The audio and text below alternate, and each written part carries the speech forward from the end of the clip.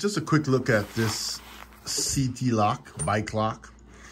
I think it's a little over 35 inches long. They they come in different lengths. I can't remember the exact length, but I just wanted to go over it real quick, show you the quality of the lock.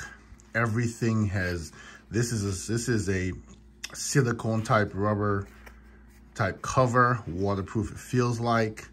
As you can see, this is thick and solid. The chain is hefty, okay?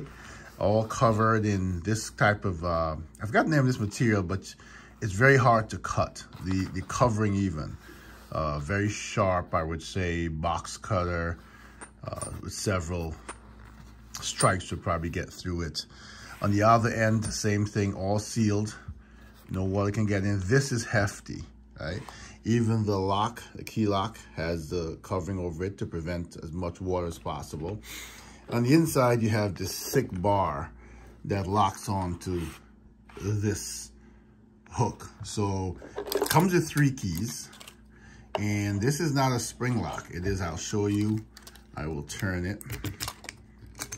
And you will see it opens up. Once it opens up, you insert this. Now, this goes all the way in. I will lock it, pull the key out.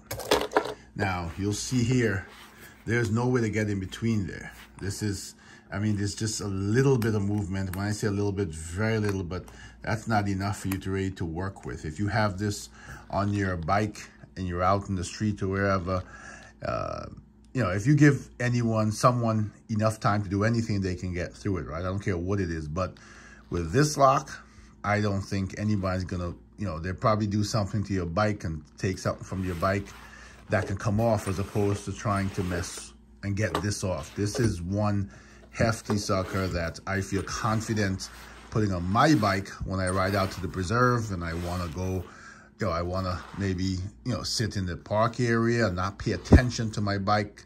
You know, this is New York. People will grab your bike and run off with it if you leave it unattended. This here will work. Seatylock comes, I think, in three different lengths, three keys. I say it's the way to go for safety on your bike.